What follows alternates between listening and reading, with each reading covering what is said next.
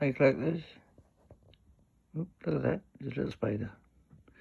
Hey this. here's a ground assault badge, look for a ground assault badge.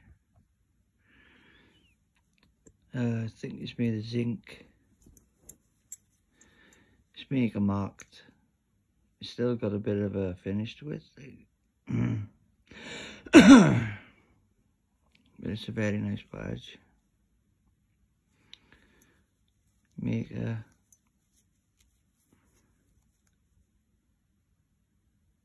RK. So it's Rudolf Karneth or something like that.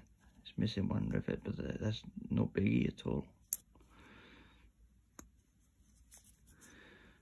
But uh, very nice badge. Like I said, it's made of zinc. I'm sure it's made of zinc two-part badge, the eagle separate from the badge itself. You can see, you can see this little finish remaining like a, a coppery colour.